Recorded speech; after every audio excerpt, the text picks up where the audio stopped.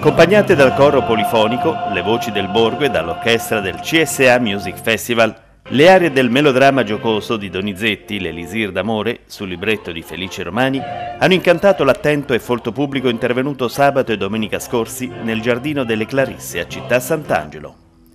Il concerto lirico, arricchito dalle scenografie ideate e realizzate dall'attenta regia di Stefania Grazioli, è stato magistralmente diretto dal maestro Alessandro Mazzocchetti con l'orchestra del Città Sant'Angelo Music Festival.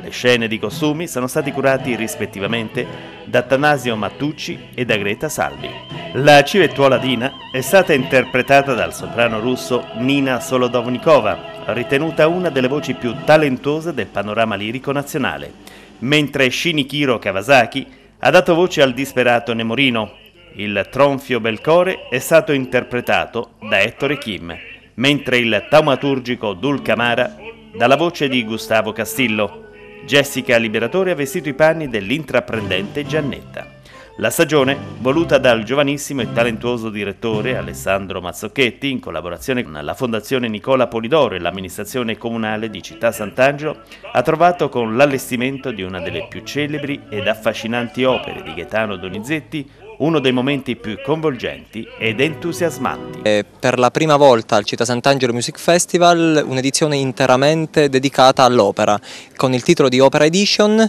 eh, quindi quest'anno eh, l'Elisir d'Amore è il titolo che viene messo in scena dal CSA Music Festival. Siamo molto contenti innanzitutto del risultato mh, di pubblico, del riscontro del pubblico, in quanto abbiamo ottenuto sold out alla prima e sold out alla seconda rappresentazione questo ci, fa, ci rende orgogliosi, ci rende felici del lavoro che stiamo svolgendo sul territorio da ormai quattro anni e speriamo che la, tutta la manifestazione, l'Opera Edition in particolare, possano andare avanti e crescere sempre di più.